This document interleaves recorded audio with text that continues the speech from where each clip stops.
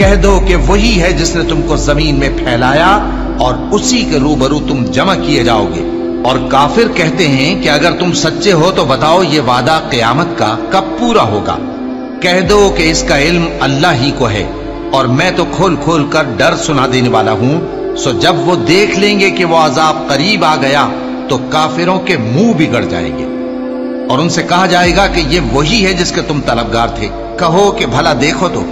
अगर अल्लाह मुझको और मेरे साथियों को हलाक कर दे या हम पर मेहरबानी करे तो कौन है जो काफिरों को दुख देने वाले अजाब से पनाह दे?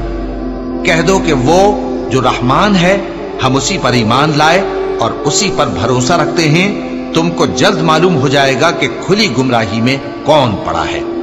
कहो कि भला देखो तो अगर तुम्हारा पानी जो तुम पीते हो और बरतते हो खुश्क हो जाए तो अल्लाह के सिवा कौन है जो तुम्हारे लिए शफाफ पानी का चश्मा बहा लाए